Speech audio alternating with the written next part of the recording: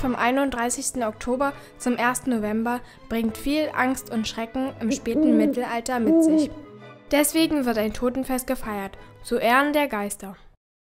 Mama, ich hab Angst. Gott steh uns bei. Es gibt keine Geister. Heute wird der Brauch immer noch übernommen, doch eher als Spaß, in dem kleine Kinder sich verkleiden, durch die Straßen ziehen und nach Süßigkeiten fragen. Boah, ich habe so ein tolles Kostüm. Damit werde ich alle erschrecken und den ersten Preis gewinnen. Was ist das? Hilfe! Hihihi, wo ist er denn jetzt?